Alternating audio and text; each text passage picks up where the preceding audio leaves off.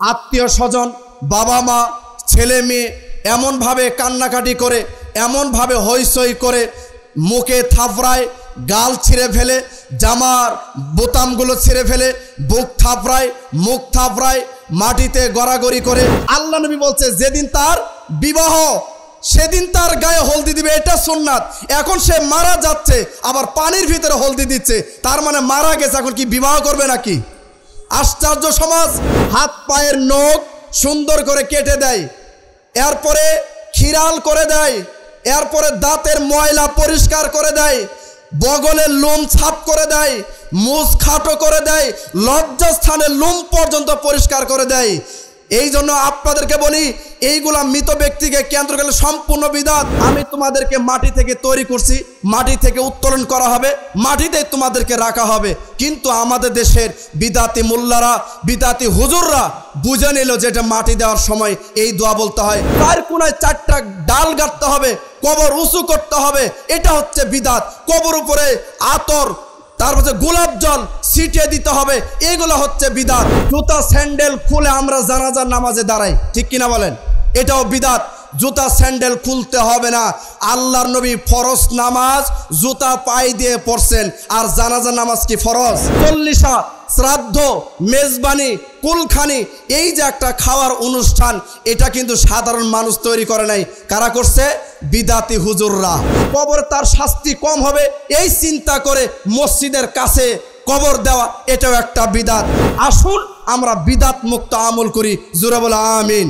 আল্লাহ আমাদের বিদাত মুক্ত শির্ক মুক্ত আমল করার তৌফিক দান করো আমিন। আহলেদিস আন্দোলন বাংলাদেশ। আসুন পবিত্র কুরআন ও সহি হাদিসের আলোকে জীবন গড়ি। আসসালামু আলাইকুম আরহামতুল্লাহি অবরকাত আলহামদুলিল্লাহ ওয়াহদা ওয়াসসালাত ওয়াসসালাম আলা মাল্লা নবী বাদা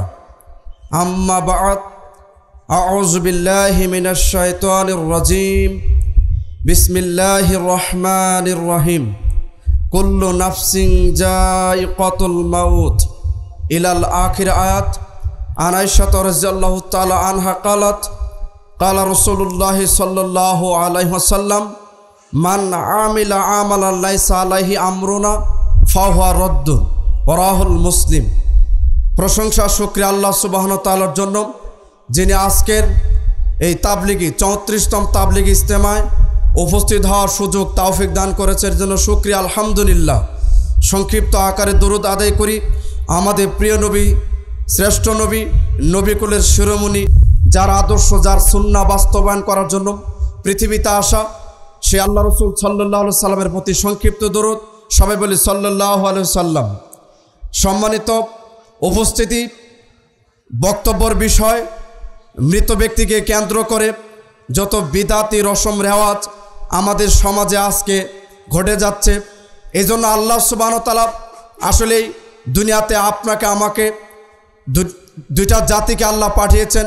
যত সৃষ্টি যাদের জীবন আছে, তারা পৃথিবীতে আসার পরে কেউ চিরস্থায়ী নয়। এই জন্য আল্লাহ সুবাহতালা তিন নম্বর ছোড়া আল ইমরান একশো পঁচাশি নম্বর আয়াতে আল্লাহ বলছেন, কুল্লু নাফসিং জাই কতুল মাউথ পৃথিবীর প্রত্যেকটা জীবন যাদের আছে, প্রত্যেকেই মৃত্যুর স্বাদ, আস্বাদ গ্রহণ করবে। কেউ পৃথিবীতে চিরস্থায়ী থাকবে না। এই জন্য যেহেতু আমাদেরকে মৃত্যুবরণ করতে হবে, আর এই মৃত্যুকে কেন্দ্র করে যখন মানুষ মারা যায়, মৃত্যুবরণ করে, মৃত্যুবরণ করা থেকে শুরু করে অসংখ্য হাজারো বিদাত শিরকি আকিদা, রসম রেওয়াজ আমাদের সমাজে চালু আছে। আমি এক একটা করে তুলে ধরার চেষ্টা করব সম্মানিত উপস্থিতি। যেমন, মানুষ যখন মারা যায়, মারা যাওয়ার পরপরেই আমরা একটা বিদাত শুরু করি। সেটা কি? মাথাকে কিবলার দিকে তাড়াতাড়ি করে আমরা দ্রুত ঘুরিয়ে দিই। এরপরে পাড়ার কিছু হিপসখানায় হাফেজ মৌলবী হুজুরদেরকে ডেকে নিয়ে এসে ওই লাশের চতুর পাশ দিয়ে আমরা সোরা ইয়াসিন, সোরা মুলক, সোরা রহমান এবং বিভিন্ন কোরআন খতম, কোরআনে অনুষ্ঠান এবং বিভিন্ন তেঁতুলের আটি, বিভিন্ন বোরের আটি, বুট, কালাই, বাদাম ইত্যাদি এগুলা দিয়ে সোয়া লক্ষ, এক লক্ষ কালেমা কুলখানি, অর্থাৎ কালেমা খানি, কোরআন খানি, এরপরে বিভিন্ন আমরা এই বিদাতি প্রথাগুলো আমরা চালু করি। সম্মানিত উপস্থিতি আর একটা বিদাত আমাদের সমাজে চালু আছে, সেটা হচ্ছে মানুষ মারা যাওয়ার পরে আত্মীয় স্বজন, বাবা মা, ছেলে মেয়ে এমনভাবে কান্নাকাটি করে, এমনভাবে হইসই করে, মুখে থাপড়ায়, গাল ছিঁড়ে ফেলে, জামার বোতামগুলো ছিঁড়ে ফেলে, বুক থাপড়ায়, মুখ থাপড়ায়, মাটিতে গড়াগড়ি করে, মাটিতে এরপরে মাটিতে পড়ে যাওয়ার পরে মাটি, মাটিতে আঘাত করে, ইত্যাদি। এইভাবে অসংখ্য আজকে বিদাতি বিদাতি প্রথা আমাদের সমাজে চালু আছে। অথচ রাসুল সাল্লাহ সাল্লাম সই হাদিসে বলছেন, যে ব্যক্তি মৃত্যুকে কেন্দ্র করে মৃত ব্যক্তির জন্য মুখ চাপড়ায়, বুকে বুকে থাপড়ায়, মুখে থাপড়ায়, জামা কাপড় ছেড়ে ফেলে আল্লাহর নবী সাল্লাহ সাল্লাম বলছেন, যারা এইগুলা করে তারা আমার উম্মত নয় নাওজুবিল্লাহ অথচ আজকে আমার নিজের চোখে দেখা অসংখ্য মানুষকে আমি দেখেছি, এমনভাবে কান্নাকাটি করে, জামা ছিঁড়ে অর্ধ উলঙ্গ হয়ে যায়, কথা বলেন ঠিক কিনা? অর্ধ উল্লঙ্গ পর্যন্ত হয়ে যায়, অথচ রাসুল সাল্লাহ সাল্লাম বললেন এইগুলা সম্পূর্ণ বিদাত এবং যারা এইগুলা করে, তারা আমার উম্মত থেকে বহিষ্কার। নাউজুবিল্লাহ। সম্মানিত প্রিয় ভাই এবং বোন রাসুল্লাহ সাল্লাহ সাল্লামের গুরুত্বপূর্ণ সই মুসলিমের সতেরোশো আঠারো নম্বর হাদিস আম্মাজান আয়সা রাজিয়াল্লাহ তালা আনহা বলেন, মান আমিলা আমাল আল্লাহ আলাইহি আমরুনা ফাওয়া রদ্দুন। যে ব্যক্তি এমন কোনো আমল করবে যে কেউ, যে কোনো ব্যক্তি যে কেউ আমল করবে। ওই আমলটা যদি আমাদের নবীর না হয়, যেই কাজটা করবে, ওই কাজটা যদি আমাদের নবীর না হয়, আল্লাহর নবী সাল্লাহ সাল্লাম বলছেন ফাওয়া রদ্দুন তাহলে এই কাজটা বাতিল। সই মুসলিমের সতেরোশো আটানব্বই এই হাদিস, কারণ যে কেউ যে কোনো ব্যক্তি বড় হুজুর করুক, মুফতি হুজুর করুক, আর যত পাগড়িওয়ালা বড় হুজুরি করুক, জুব্বা বড় পরিধান করছে, যেই হুজুর হোক না কেন, যেই আমলটা করবে, ওই আমলটা যদি আমাদের নবীর না হয়, নবীর সাথে যদি না মিলে যায়, নবীর পদ্ধতি অনুযায়ী যদি না হয়, তাহলে ওই আমলটা নাম হচ্ছে বিদাত। এই জন্য মৃত ব্যক্তিকে কেন্দ্র করে আর একটা বিদাত, সেটা কি? যখন এই লাশটাকে যখন ধোয়াবে যখন গোসল দিবে, তখন পানি গরম করতে হয়। এই পানি গরম করার সময় গ্রামের মা বোনরা পানির গরম করার সময় পাতিলে আম গাছের পাতা, বাঁশ ঝাড়ের পাতা, বাঁশের পাতা, দুবলা ঘাস, হলদি ইত্যাদি পানির ভিতরে দিয়ে গরম করে। কথা বলেন ঠিক কিনা? আজকে এইভাবে করে, অথচ রাসুল সাল্লাহ সাল্লামের সই হাদিস হচ্ছে, মাত্র শুধু কুল পাতা, যেটা আমরা বড়ই পাতা হিসেবে জানি। এই কুল পাতা শুধু দিবেন, অথচ ওই পানি গরম করার সময় হলদি দেয়, তার মানে ছেলেটা হলদি কখন দিবে? আল্লাহ নবী বলছে, যেদিন তার বিবাহ, সেদিন তার গায়ে হলদি দিবে, এটা সুন্নাত। এখন সে মারা যাচ্ছে, আবার পানির ভিতরে হলদি দিচ্ছে, তার মানে মারা গেছে, এখন কি বিবাহ করবে নাকি? আশ্চর্য সমাজ। এই জন্য এটা হচ্ছে বিদাত। এই পানি নিয়ে যখন গোসলখানায় যায়, যাওয়ার পরে আগেকার মুরব্বীরা আর একটা ভুল বিদাত করে, সেটা কি? হাত পায়ের নখ সুন্দর করে কেটে দেয়, এরপরে খিরাল করে দেয়, এরপরে দাঁতের ময়লা পরিষ্কার করে দেয়, বগলের লোম ছাপ করে দেয় মুখ খাটো করে দেয়, লজ্জাস্থানের লোম পর্যন্ত পরিষ্কার করে দেয়। এই জন্য আপনাদেরকে বলি, এইগুলা মৃত ব্যক্তিকে কেন্দ্র করে সম্পূর্ণ বিদাত। অথচ আপনারাই বলেন, মানুষ মারা যাওয়ার পরে তার উপর কি আর কোনো শরীয়তে কোনো বিধান প্রযোজ্য আছে? জুড়ে বলেন। তার উপর আর কোনো শরীয়ত নাই। ও তো মারা গেছে। এটা বেঁচে থাকতেই তার উচিত আল্লাহ নবী বলছেন, একজন মুসলমান, একজন মানুষ মুসলমান, তার উপর স্বভাবজাত বৈশিষ্ট্য হচ্ছে পাঁচটা। হাত পায়ের নখ পরিষ্কার করবে মুখ খাটো করবে, দাড়ি ছেড়ে দিবে, বগলের লোম উপড়ে ফেলবে, লজ্জাস্থানের লোম পরিষ্কার করবে। এটা হচ্ছে প্রত্যেকটা মুসলিম স্বভাবজাত বৈশিষ্ট্য। এখন সে মারা গেছে, গোসলখানায় নিয়ে যাওয়ার পরে অনেক মুরব্বীরা এই বিদাতটা করে আমাদের সমাজে চালু। এরপরে আর একটা বিদাত, পেটে চাপ দিয়ে, পেটে চাপ দিয়ে পায়খানা বের করা হচ্ছে, নাউজুবিল্লাহ। এটা আর একটা বিদাত, কারণ মারা যাওয়ার পরে তার উপর এখন আর কোনো শরীয়ত নাই। পেটে চাপ দিয়ে পেশাব বের করা হয়, পায়খানা বের করা হয়, বিভিন্ন পচা মল বের করা হয়, নাউজুবিল্লাহ। এটা একটা বিদাত। এরপরে যখন গোসল করানো শেষ আর একটা বিদাত, মহিলারা পাঁচ কাপড় আর পুরুষরা তিন কাপড় আসে না নাই? অথচ হাদিসে ছেলে মেয়ে উভয়ই সমান কাপড়, আর মেয়েদের আর একটা উড়না ব্যবহার করে দুইটা কাপড় একটা মাথায় দেয় আর একটা উড়না দেয়। আজীবন যতদিন বেঁচে ছিল, এই মেয়ে স্কুল, কলেজ, বিশ্ববিদ্যালয়, হাট, বাজার, মাঠে ঘাটে সব জায়গায় গেছে, কখনো মাথায় কাপড় দেয় নাই, বুকে কাপড় দেয় নাই। কথা বলো ঠিক কিনা? কাপড় দেয় নাই। এখন এই মহিলা মারা গেছে। এখন তার মাথায় কাপড় দিচ্ছে, বুকে উড়না দিচ্ছে, অতএব এগুলো হচ্ছে বিদাত। এরপরে গোসল যখন কমপ্লিট, যখন খাটেতে নিয়ে আসবে নতুন কাপড় পরে, কাফনের কাপড় পরানোর পরে অনেকে বিদাত আর একটা করে, কালেমা লিখে দেয় কাফনের উপরে। কালেমা লিখে দেয়, কালেমা খসিত পর্দা কালো কাপড়। এটা খাটের উপরে দিয়ে শোয়াই দেয়, লাশের উপর দিয়ে শোয়াই দেয়। এরপরে ওই লাশকে কেন্দ্র করে চতুর্দিক দিয়ে এক হাজার, দুই হাজার, তিন হাজার টাকা দিয়ে হুজুর এবং হাফিজিয়া মাদ্রাসার ছাত্রদেরকে ভাড়া করে নিয়ে এসে চতুর্দিক দিয়ে হাফেজরা বসে সুরা ইয়াসিন জুড়ে জুড়ে কোরআন তেলাওয়াত করে বলেন, নাউজুবিল্লাহ। এগুলা হচ্ছে বিদাত। সম্মানিত প্রিয় ভাই বোন রাসুল সাল্লাহ সাল্লাম এই জন্য বিদাতিকে প্রভ্রষ্ট বলছেন, প্রত্যেকটা বিদাতি হচ্ছে ভ্রষ্টতা, আর ভ্রষ্টতাদের থাকার পরিণাম জায়গা হচ্ছে জাহান্নাম।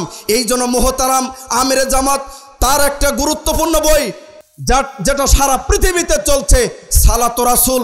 এই সালাতো রাসুলের দুইশো আটত্রিশ পৃষ্ঠায় মোহতারাম আমিরে জামাত নব্বইটা বিদাত তুলে ধরছেন। আলহামদুলিল্লাহ বলেন। নব্বইটা বিদাত সিরিয়াল তুলে ধরছেন। আমি নব্বইটা বলতে পারব না, সময় খুব কম। আমি দুই একটা করে আপনাদের সামনে তুলে ধরি। যেমন, দাফন না করা পর্যন্ত পরিবারের লোকদের না খেয়ে থাকা আসানা নাই। কেউ খায় না। অথচ নবী বলছেন, যার রুচি হয়, সে যেন খায়। যার রুচি নাই, সে যেন না খায়। এই তো। কিন্তু নিষেধ নাই। যার রুচি আছে, সে খাবে। মানুষ মারা গেলে আগুন জ্বালানো যাবে না। মাছ খাওয়া যাবে না, গোস্ত খাওয়া যাবে না, এই চুলায় আগুন জ্বালানো যাবে না। যেই কাপড় চোপড় নিয়ে মৃত ব্যক্তিটা মারা গেছে, এই কাপড় সাত দিন পরে পরিষ্কার করে। সাত দিন পরে এই মৃত ব্যক্তির পরনের কাপড় মানে ধুয়ে দেয়, পরিষ্কার করে। এরপরে দেখেন বাড়িতে কবরস্থানে এই সময় সাদগা বিলি করা হয়। সাদগা বিলি করা হয় যখন এই লাশটাকে নিয়ে আমরা যখন কাঁধে উঠায় নিয়ে যখন কবরে নিয়ে যাই, তখন আর একটা বিদাত ইমাম সাহেব বলে দেয় যে, মুসল্লি যারা আছেন, সবাই জুড়ে জুড়ে কালেমা পড়েন। লা ইলাহা ইল্লাল্লাহ মোহাম্মদ রসুল্লাহ লা ইলাহা ইল্লাল্লাহ মোহাম্মদ রসুল্লাহ বারবার জিকির করেন, অথচ এটা হচ্ছে বিদাত লাশের পিছনে পিছনে যাওয়া সুন্নাত, এবং আপনি মনে মনে মনে মনে প্রতিজ্ঞা করবেন যে, আমাকেও এই খাটে একদিন উঠতে হবে, আমাকেও লাজ হতে হবে। এই ভয়ে আপনি আমল করবেন গুণা ছেড়ে দিবেন, সংশোধন হবেন। কিন্তু লা ইলাহা ইল্লাল্লাহ বলে জিকির করে জুড়ে জুড়ে জিকির করে কবর পর্যন্ত যায়, এটা একটা বিদাত। এরপরে কবরে যখন নামাবে, নামানোর পরে আরও অনেক কিছু বিদাত দেওয়া আছে। সেই বিদাতগুলো কি? ওই লাশের বুকের উপরে হাত দিতে হয়। হাত দেওয়ার দরকার নাই। এমনি শুধু দোয়া করতে হয়। আর বিষয়টা হচ্ছে, এরপরে যখন বাঁশ দিবেন, যখন ধারায় দিয়ে মাটি যখন দিবেন, দেওয়ার পরে জনগণ হুজুর শিখিয়ে দিচ্ছেন, মাটি দেওয়ার দোয়া। কিসের দোয়া? মাটি দেওয়ার দোয়া সুরা তহাতে আল্লাহ বলছেন, এটা হুজুররা মাটি দেওয়ার দোয়া হিসেবে নিয়ে নিছেন। মিনহা খলাকনাকুম অমিনহা নুকরিজুকুম মিনহা নুকরিজুকুম তারাতন উখরা। তার মানে আল্লাহ সুবান তালা বলছেন, আমি তোমাদেরকে মাটি থেকে তৈরি করছি, মাটি থেকে উত্তোলন করা হবে, মাটিতে তোমাদেরকে রাখা হবে। কিন্তু আমাদের দেশের বিদাতি মোল্লারা, বিদাতি হুজুররা বুঝে নিল যে এটা মাটি দেওয়ার সময় এই দোয়া বলতে হয়। যখন এক মুষ্টি মাটি দেয়, মিনহা খলাক নাকুম আর এক দ্বিতীয়বার দেয় আর একবার বলে, তৃতীয়বার দেয় আর একবার বলে, সম্পূর্ণ দোয়াটা বলে।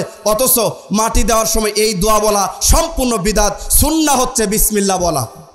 সুন্না হচ্ছে বিসমিল্লা বলা, কারণ সই বুখারের হাদিস, পৃথিবীর যে কোনো ভালো কাজ শুরু করার আগে বিসমিল্লা বলতে হবে, এটা হচ্ছে সুন্না সম্মানিত প্রিয় ভাই এবং বোন, এরপরে মাটি দেওয়ার যখন শেষ হয়ে যায়, তখন কবরকে উঁচু করা হয়। উঁচু করার পরে, এরপরে কয়েকজনে বলে, আমের ডাল নিয়ে আসো, খেজুরের ডাল নিয়ে আসো।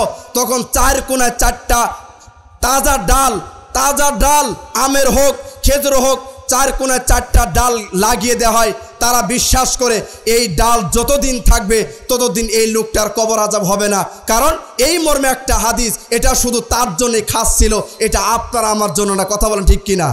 এটা ওই সাহাবির জন্যই খাস ছিল, এটা আপনার আমার জন্য না। চার কোনায় চারটা ডাল গাড়তে হবে, কবর উঁচু করতে হবে, এটা হচ্ছে বিদাত। কবর উপরে আতর, তারপরে গোলাপ জল ছিটিয়ে দিতে হবে, এগুলো হচ্ছে বিদাত। এরপরে জানাজার ভিতরেও আমরা আর একটা বিদাত করি। কি? আমরা সমস্ত মানুষদেরকে জুড়ে সবাই দুই হাত তুলে অঙ্গীকার করাই যে এই মৃত ব্যক্তি, এই লাশটা কেমন ছিল, এই মৃত ব্যক্তি লুকটা কেমন ছিল, বলি কিনা বলেন?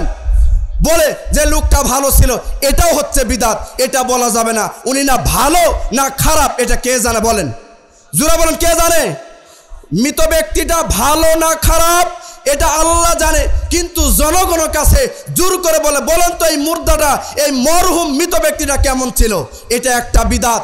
এরপরে আর একটা বিদাত, জুতা স্যান্ডেল খুলে আমরা জানাজার নামাজে দাঁড়াই। ঠিক কিনা বলেন? এটাও বিদাত। জুতা স্যান্ডেল খুলতে হবে না। আল্লাহর নবী ফরজ নামাজ জুতা পাই দিয়ে পড়ছেন। আর জানাজার নামাজ কি ফরজ? বলেন ফরজ? তাহলে ফরজ নামাজ যদি আল্লাহ নবী জুতা পায়ে পড়তেন আর জানাজার সময় আমরা জুতা স্যান্ডেল খুলি, এই জুতা স্যান্ডেল খোলাটাও একটা হচ্ছে কি? বিদাত। এটাও বিদাত। এরপরে জানাজার ভিতরে আরেকটা আমরা বলি, সেটা কি? এই যে ঘণ্টার পর ঘণ্টা লাশকে সামনে রেখে আমরা বক্তব্য দেই। রাজনৈতিক বক্তব্য শুরু করে ইমাম, মুয়াজ্জিন, রাজনৈতিক বক্তব্য আমরা দেই। অথচ এটা সম্পূর্ণ বিদাত। বক্তব্য দেওয়া যাবে না। আল্লাহ নবী লাশকে সামনে রেখে একটাই কথা বারবার বলতেন যে, এই লাশের ঋণ আছে কিনা? ঠিক কিনা বলেন? যে, এই লাশের ঋণ আছে কিনা? যদি ঋণ থাকে, তাহলে আমি নবী জানাজা পড়াবো না। তো একজন সাহাবি বলছে আমি দায়িত্ব নিলাম। তো নবী বলছে আচ্ছা আমি পড়াইলাম। যদি বলছেন যে এই লোকটার কি ঋণ আছে? যে আছে, তাহলে আমি গেলাম, তোমরা পড়াও। তাহলে চিন্তা করেন, ঋণের যা কত গুরুত্ব দিতেন আল্লাহ নবী, আর ঋণের ব্যাপারে কোনো বক্তব্য নাই। যত বক্তব্য, রাজনৈতিক বক্তব্য, এই লোকটার শুরু থেকে শেষ পর্যন্ত জীবনে যা করছে, এগুলা সব সবাই এক একটা করে, এক একবার করে, দুই মিনিট, পাঁচ মিনিট, দশ মিনিট করে আমরা জানাজে গিয়ে এই বক্তব্য প্রথা চালু করছি। এটা আমাদের বন্ধ করতে হবে। কথা বলেন ঠিক কিনা? ইনশাল্লাহ আমরা বন্ধ করব তো। এটা আমরা ওসিয়ত করে যাব যে আমি মারা গেলে আমার লাশকে সামনে রেখে কোনো বক্তব্য চলবে না। এটা বলতে পারব কি ইনশাল্লাহ? ইনশাল্লাহ। এরপরে আরেকটা বিদাত, সেটা হচ্ছে যখন এই মায়েতের মেয়াদ হবে তিন দিন, সাত দিন, চল্লিশা শ্রাদ্ধ, মেজবানি, কুলখানি, এই যে একটা খাওয়ার অনুষ্ঠান, এটা কিন্তু সাধারণ মানুষ তৈরি করে নাই। কারা করছে? বিদাতি হুজুররা। তিন দিন, মানুষ মারা গেলে তিন দিন, সাত দিন, চল্লিশা মেজবানি, শ্রাদ্ধ, কুলখানি। আসলে এই শ্রাদ্ধ সংস্কৃত বাংলা হচ্ছে চল্লিশা। শ্রাদ্ধ হচ্ছে হিন্দুদের নীতি। আজকে হিন্দুদের নীতি থেকে মুসলমানরা চল্লিশা বানিয়েছেন। অথচ উচ্চ লেভেল থেকে শুরু করে, যত নেতা খেতা থেকে শুরু করে, প্রফেসর থেকে শুরু করে, উচ্চ বংশের নেতা পর্যন্ত এবং দামি দামি মানুষ সবাই ওই তিন দিনের সাদগা খেতে যায়। অথচ রাসুল বলছেন সাদগা হচ্ছে মানুষের শরীরের নাপাক ময়লা, এটা হচ্ছে ফকির মিসকিন, এতিমদের হক। সাদগা হচ্ছে এতিম মিসকিনদের হক। অথচ আমরা ভালো ভালো মানুষ গিয়ে এই তিন দিন, সাত দিন অনুষ্ঠানে গিয়ে অংশগ্রহণ করি, খাই, কথা বলেন ঠিক কিনা? এই জন্য সম্মানিত প্রিয় ভাই, এরপরে রাসুল সাল্লাহ সাল্লামের আরও অসংখ্য হাদিস যেটা আমি বলতে চা মানে সময় নাই থেকে আমি পারছি না। আমি শুধু সিরিয়ালগুলো বলছি, মোহতারাম আমিরের জামাতের সালাতুর রাসুল দুইশো আটত্রিশ পৃষ্ঠায় আপনারা নব্বইটা সিরিয়াল পাবেন, মৃত ব্যক্তিকে কেন্দ্র করে বিদাত। আমি আবারও বলছি সালাতুর রাসুল প্রত্যেকের ঘরে ঘরে রাখবেন ইনশাআল্লাহ। সবার ঘরে আছে কি ইনশাল্লাহ সবার ঘরে আছে? না থাকলে আজকের ইস্তামা থেকে আপনারা কিনবেন দুইশো আটত্রিশ পৃষ্ঠায় নব্বইটা বিদাত দিয়েছেন।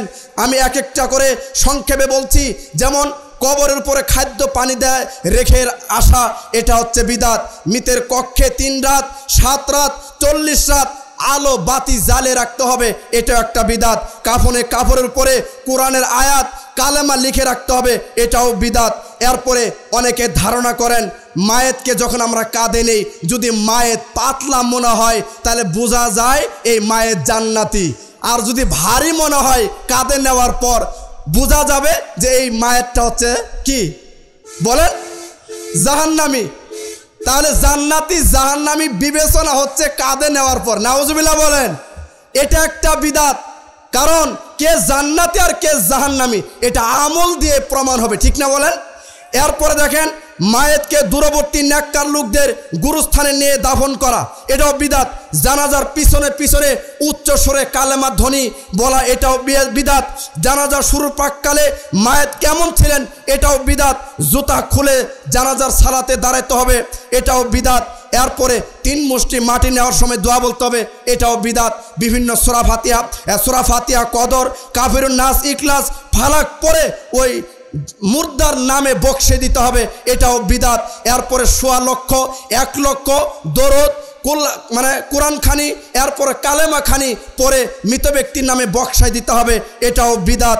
আগরবাতি জ্বালাতে হবে, মোমবাতি জ্বালাতে হবে, গোলাপ জল ছিটাতে হবে তারপর আতর দিতে হবে, এটাও বিদাত। এরপরে কোরআন পাঠকারীকে উত্তম খানাপিনা এবং টাকার ব্যবস্থা করে দিতে হবে, এটাও বিদাত। এরপরে কবরকে সুন্দর করা, এটাও বিদাত। কবরের রুমাল এবং কাপড়, কালামা লেখা খসিত কাপড় কবরের উপরে যারা শুয়ে দিয়ে আসে, এটাও বিদাত। ওরা মনে করে এই কালামা খসিত চাদর কবর উপরে থাকলে তার আজাব হবে না। নাউজুবিল্লাহ বলেন, এটাও বিদাত। এরপরে, দেখেন এরপর আর একটা কি? বিভিন্ন খানার অনুষ্ঠান, এটা সম্পূর্ণ বিদাত। আজান শুনে নেকি পাবে, গুরুস্থানে গুরুস্থানে আজাব কম হবে, কবর তার শাস্তি কম হবে, এই চিন্তা করে মসজিদের কাছে কবর দেওয়া, এটাও একটা বিদাত। কবরের পাশে দাঁড়িয়ে সোরা ফাতিয়া পাঠ করা, এটাও বিদাত। কাফন দাফন যারা করবে, তারা যদি টাকার ইনকাম করার উদ্দেশ্যে করে, এটাও বিদাত যে কাফনে কাজ, কবর খুঁড়ে দিলাম কবর গর্ত করে দিলাম, আমাকে কিছু টাকা দিবে, এই টাকা নেওয়াটাও সম্পূর্ণ বিদাত। এরপর মৃত্যুবার্ষিকী পালন করা, এটাও বিদাত। সালাদ কিরাত, অন্যান্য দৈহিক ইবাদত সময়ের মাধ্যমে নেকি মৃতদের কাছে হাদিয়া হিসেবে পৌঁছানো যায়, পৌঁছে দিলাম বা পৌঁছিয়ে গেল, এটাও বিদাত। এরপর ন্যাক্কার লোকদের কবরে গিয়ে দোয়া কবুল হয়, এই ধারণা করা সম্পূর্ণ বিদাত। স্বামী মারা গেলে, স্ত্রী মারা গেলে, অর্থাৎ স্বামী মারা গেলে স্ত্রী গোসল দিতে পারবে না এটাও বিদাত, নাক ফুল খুলে দিতে হবে, এটাও বিদাত। এরপর স্ত্রী দেখতে পারবে না, এটাও বিদাত। স্বামী মারা গেছে, স্ত্রী দেখতে পারবে না, গোসল করাতে পারবে না, কাফন পরাইতে পারবে না, স্পর্শ করতে পারবে না, এটাও বিদাত। অথচ স্বামী, স্ত্রী আজীবন সংসার করল, আল্লাহ নবীর সুন্নাত মারা যাওয়ার পরেও স্ত্রী তার স্বামীর কপালে গালে চুমা খেতে পারে। কথা বলেন ঠিক কিনা? এই জন্য আমাদের বিষয়গুলো বুঝতে হবে। এরপরে দেখেন মৃত্যুর পরপরই ফকির মিসকিনদের মধ্যে অনেক জায়গায় চাউল বিনিময় চাউল বিনিময় করে, টাকা বিনিময় করে, চাউল বিতরণ করে। এরপরে দাফনের পরে কবরস্থানে মহিষ, গরু জবাই করে দাফন দিয়ে যারা আসবে, সেদিনই তাদেরকে খাবার আয়োজন করে খাওয়িয়ে দেওয়া হয়। এটা একটা বিদাত। মায়েতের মুখে কপালে আতর দিয়ে আল্লাহ লিখে দেওয়া, এটাও সম্পূর্ণ বিদাত। মৃতের ঘরে চল্লিশ দিন যাবৎ বিশেষ লোহা জাতীয় জিনিস রাখা, লোহা জাতীয় জিনিস রাখলে যাতে আজাবের ফেরেস্তা কবরে না আসতে পারে, এটাও একটা বিদাত। মৃত্যুর বিশ দিন পর রুটি বিলি করা, চল্লিশ দিন পর বড় অনুষ্ঠান করা, এটাও বিদাত। এই জন্য অসংখ্য বিদাত। আমি আবারও বলছি, মোহতারাম আমিরে জামাতের সালাতুর রাসুল দুশো আটত্রিশ পৃষ্ঠায় এই বিদাতগুলো সিরিয়ালভাবে নব্বইটা তিনি তুলে ধরছেন। তাই মোহতারাম আমিরে জামাত, তিনি বলছেন যে উপরে বর্ণিত অসংখ্য শিরকি আকিদা এবং অসংখ্য বিদাত, যা হাজারো বিদাত আমাদের সমাজে চালু আছে, কথা বলেন ঠিক না আমাদের সমাজে চালু আছে। এই এই জন্য এই সমস্ত রসম রেওয়াজ উপমহাদেশে মুসলিম সমাজে চালু থাকতে পারে না। প্রত্যেকটা মুসলিম ভাই বোনদেরকে আমি বলছি, আসুন আমরা বিদাত মুক্ত আমল করি। জুরাবুল আমিন। আল্লাহ আমাদের বিদাত মুক্ত শির্ক মুক্ত আমল করার তাওফিক দান করো, আমিন। এই বলে আমার সংক্ষিপ্ত আলোচনা এখানে শেষ করছি। সুবাহানা কাল্লাহ বিহামদিক, আশাহাদু আল্লাহ ইলাহা ইল্লা আংতাস্তাক ফেরুকা ওয়া তুবু আসসালামু আলাইকুম ওয়া রাহমাতুল্লাহি